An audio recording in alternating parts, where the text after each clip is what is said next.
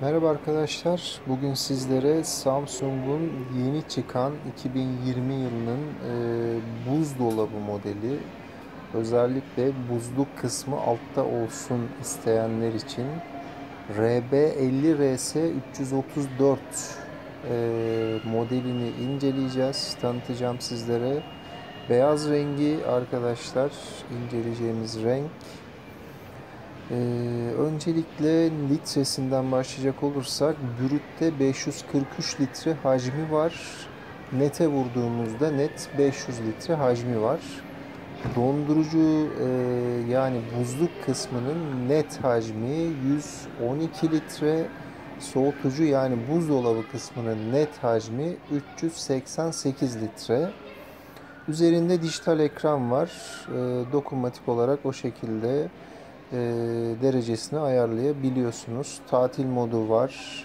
Yine aynı şekilde çocuk kilidi vesaire var. E, boyutlarını merak edenler için bu modelin eni 76 santim, boy 186 santim, içe doğru derinlik e, 74 santim olarak geçiyor. Net ağırlığı 97 kilogram.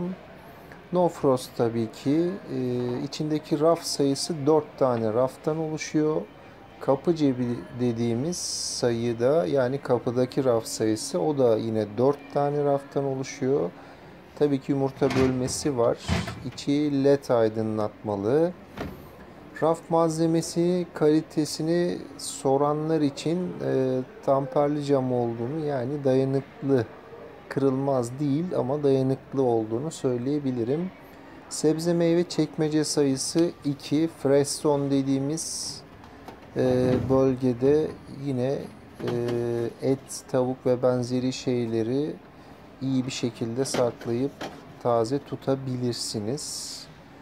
E, bunun dışında yıllık ortalama enerji tüketimi 326 kW bu modelde ee, tabii ki yine yeni seri cihazlarda olduğu gibi gıdalarınızı iki kat uzun süre taze tutabiliyor bu seride. Yine kokuları birbirine karıştırmama özelliği de var.